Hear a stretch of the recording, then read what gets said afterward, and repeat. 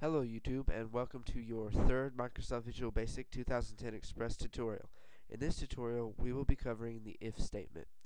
So let's go ahead, go to File, New Project, select Windows Forms application and we'll name it if statement.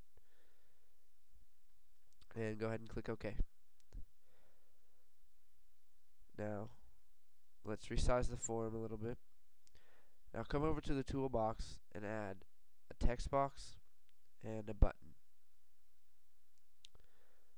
And go ahead for the name of text box 1, we'll type in your name.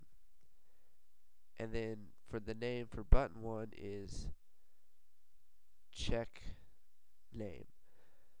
So then we'll just go ahead and set the text on it to if just because.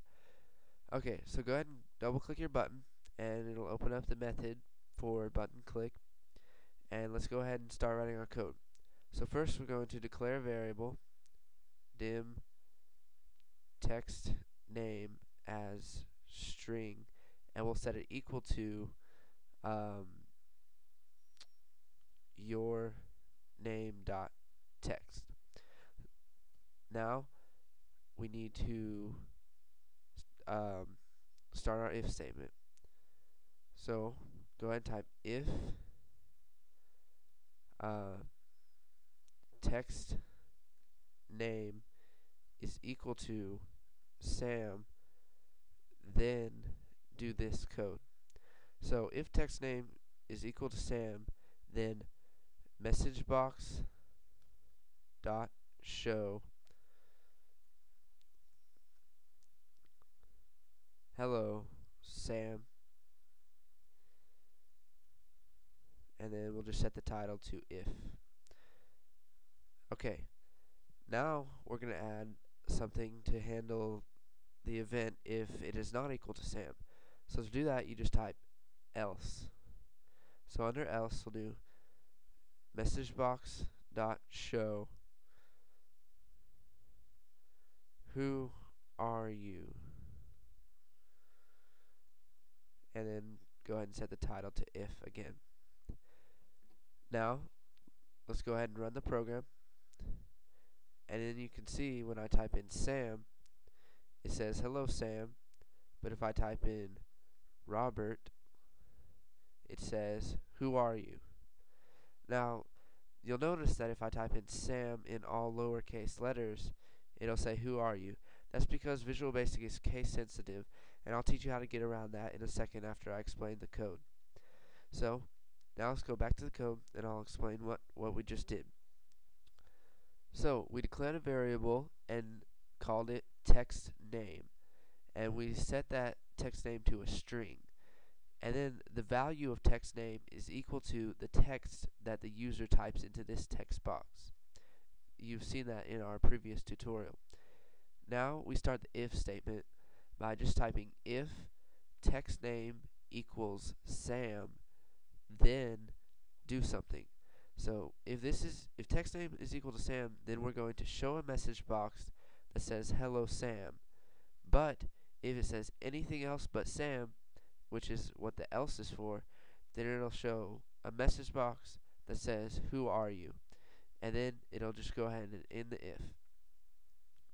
Now I'll show you how to do the if um, with using where you can type any letters, um, uppercase or lowercase for Sam, and it'll still um, recognize it as Sam.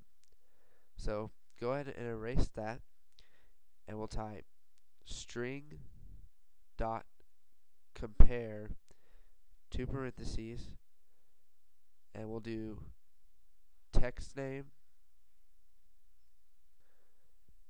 Okay sorry about that. I took a little break there. You probably didn't even notice because it's in a video. But um, I'm going to go ahead and finish up the tu tutorial for now. Okay so we started if string dot compare text name, we're going to type comma, Sam in all caps, true, and then equals 0. Okay, so basically what this does is if string, if the string, and we're going to compare the variable text name to the string Sam in all caps, which means that it can be all lowercase, all capital, or any any other like capital S, little a, capital M, or anything like that, and then true equals zero. So in coding uh, in VisualBasic.net, if something is true, then it returns the value of zero.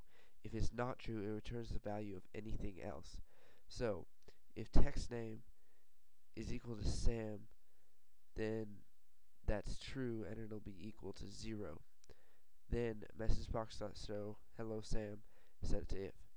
So now if we run the program, you can see right here I can type in that and it'll say hello Sam. And if I type in anything else like that, it'll say who are you. So that's the basics of if statements. I'll go further into them in uh, later tutorials. So go ahead and practice that, get used to that, and um, once you're once you know how to do this, move on to the next tutorial. Thanks for watching and please subscribe.